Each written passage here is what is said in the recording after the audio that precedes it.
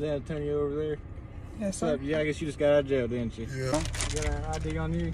And you close that door and you roll your window down. Welcome back. We're going to be taking a look at a video out of West Virginia.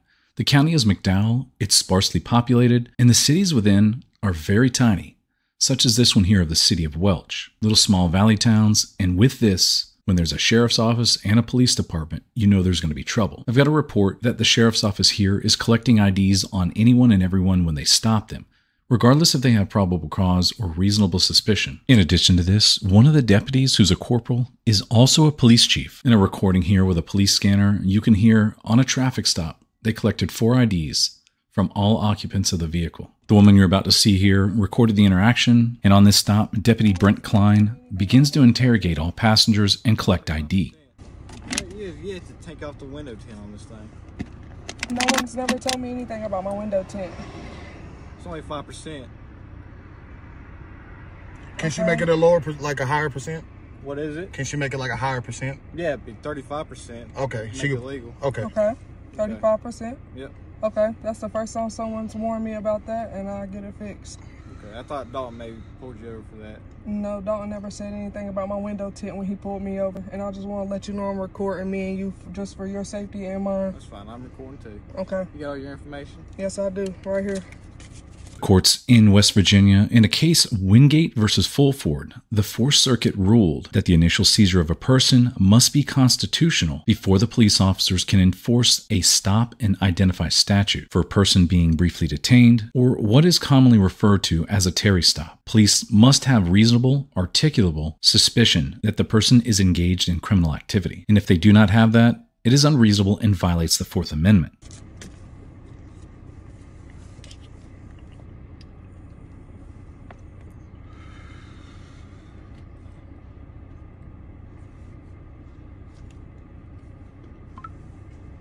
That Antonio over there? Yes, sir. Yeah, I guess you just got out of jail, didn't you? Yep. Yeah. What happened there? Misdemeanors, driving. Yeah? Yeah, no plates, no insurance. Yeah, He got me for obstruction. I got you. Alright. They don't like that. They, they don't like that. Just come out and speak to What for? I just want to talk. I'm not trouble, nothing. He can talk while he's sitting in the car. He doesn't have to get out of the car to talk to you.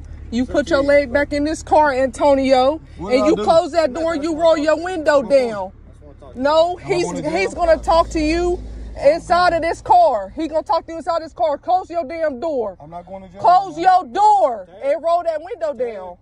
No, I'm sorry. I'm sorry. I'm being Yes or no? Am I calm. He can talk to you inside of this car. So what do we need to talk about? He can talk to you inside of this car. Close that door and roll that window down. Here, I'll roll my window down for you. Close that door, Antonio. don't got talk. All right, well, I don't got nothing to say then. Alright. All right, thank you. Close the door. Thank you. I appreciate you. Thank you. Hmm. Damn, some shit, ain't it? Yeah. Why you want to talk to me? What are you- What's your name? Ty Young. You got an ID on you? I just now got out of jail. Oh, yeah? We just picked him up from Logan, man. Oh, yeah? I guess is that where you're coming from? Yeah. Okay. You just going back home or? I got a report to my home confinement officer. Okay, well, still got, you got an ID or anything? And while this guy's digging for this ID, we did get this woman a dash cam so that she could have it in her car in case there was future retaliation from this department. It's a very small area. Smash the thumbs up if you can.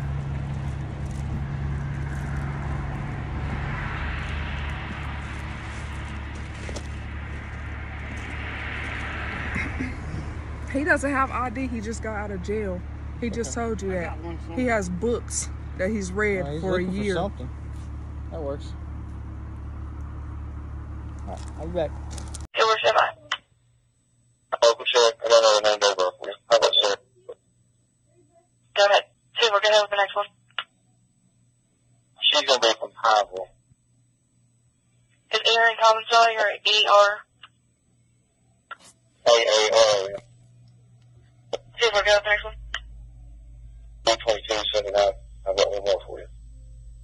Go ahead. To Johnny Willem. To J-O-H-N-N-Y. Johnny Willem. 31853 Well, the outcome of this stop was the woman did not receive a citation. This is what you call a pretextual stop. The legislature in West Virginia does criminalize the tint and makes it a misdemeanor. Well, I want to thank you guys for watching, like, and subscribing. We're going to be looking into this county here, McDowell County, West Virginia. If you had an incident with them, please send them in to jamesmadisonaudits at gmail.com. It'll really help out if you share this video. I'll see you again soon.